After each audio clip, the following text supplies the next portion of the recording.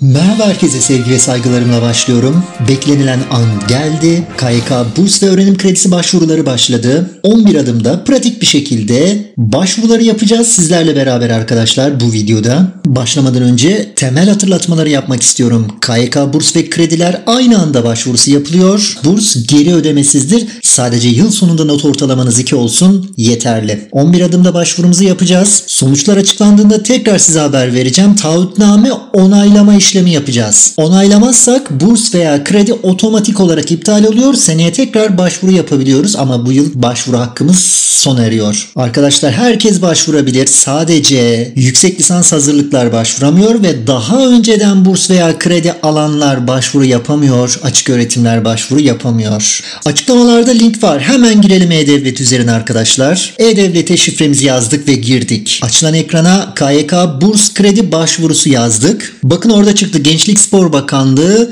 KYK burs ve kredi başvuru. Tıkladık buraya arkadaşlar. 11 adımın ilkindeyiz. İlk adım başvuru bilgilerimiz arkadaşlar. Bazı uyarılar var. Okuyalım, onaylayalım ve sonraki adıma geçiş yapalım. İkinci adımda kimlik bilgilerimizi kontrol edelim. Doğruysa kabul et, devam et diyelim. Üçüncü adımda öğrenim bilgilerimizi kontrol edelim arkadaşlar. Burası son derece önemli. YÖKSİS'ten alınıyor bilgiler. Eğer bir yanlışlık olduğunu düşünüyorsanız öğrenci işlerinizle görüşüp YÖKSİS güncellemesini yaptırmanız gerekiyor. Çünkü burs ve kredi ödemeleri şu anki mevcut okul bilgileriniz üzerinden yapılacak. Seçtiğim öğrenim bilgileri doğru işaretliyoruz ve devam et butonuna basıyoruz. Bilgilendirme metnini okudum seçeneğini işaretliyoruz. Çünkü burada önemli hatırlatma var. Okul bilgilerinizi kabulü sizin üzerindedir sorumluluğu arkadaşlar. Devam et diyoruz. Size uygun alanları evet ya da hayır diyerek işaretleyelim. Bu adımda adres ve cep telefonu bilgilerimiz var. Doğru ve güncel olduğunu kontrol edin. Güncel değilse de E-Devlet üzerinden güncelleme yapılır. Buradan sizinle irtibat kurulacağı için güncel olması önemli. Sonraki safhada özel durumumuz. Burası da son derece önemli çünkü özel durum olan arkadaşlarımızın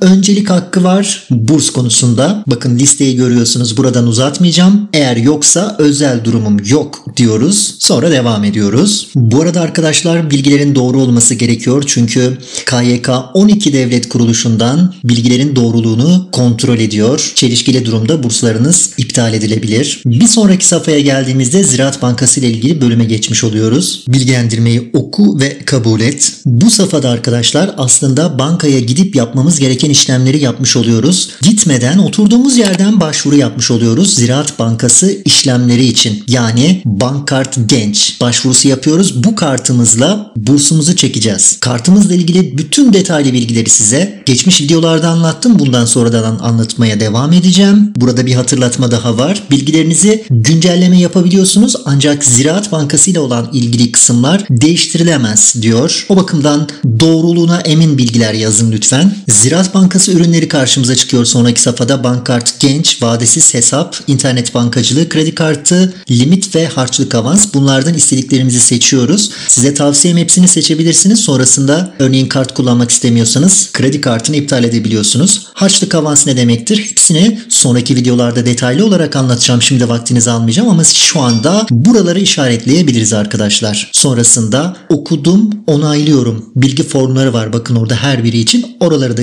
işaretleyelim. Vadesiz hesabınıza burs yatacak. Bankart genç bir araçtır. Para hesaba yatar. Kartla da çekeriz. İnternet bankacılığı üzerinden de bursumuzun yatıp yatmadığını ve alışverişteki harcamalardaki dökümümüzü kontrol edebiliriz. Hesap hareketlerimizi kontrol edebiliriz. Harçlık avansımızda da bursumuz yatmadan alışveriş yapabiliyoruz arkadaşlar. Ön izleme bölümüne geçtiğimizde cep telefon numaramızı görüyoruz. Çünkü Ziraat Bankası ürünleri ile ilgili olarak bu telefon üzerinden iletişim kurulacak ve bu telefona internet bankacılığı, mobil bankacılık için şifre gelecek. Harçlık, avans, kredi kartı, limit gibi konularda bu telefon numarası üzerinden işlem yapılacak. O bakımdan kontrol edip devam et diyelim. Son adımda başvuruyu güncelle butonuna bastığımız anda artık işlemlerimiz sona eriyor. İstersek yazdırabiliriz arkadaşlar. Son güne kadar güncelleme yapabiliyoruz. Ve bu işlemlerden sonra sonuçları kontrol edeceğiz. Açıklandığında sizlerle paylaşacağım. Ve sonrasında tekrardan buradan hep birlikte taahhütname onayı yapacağız. Taahhütnameyi onaylamadığımız sürece burs kredi bu yıl alamıyoruz. Önümüzdeki yıl tekrar başvuru yapabiliriz. Burası da önemli bir nokta. Tüm burslarda olduğu gibi KYK burslarında da sizlerle beraber olacağım arkadaşlar. Kafanıza takılan tüm soru işaretlerini gidermeye çalışacağız. Sonuçlar, harçlık avans, bank kart genç seri halinde devam edecek videolarımız. Umarım ihtiyaç sahibi olan tüm arkadaşlarımız burslarına kavuşur. Bildirimleriniz açık olsun. Yeni gelişmelerle karşınızda olacağım. Şimdilik hoşçakalın.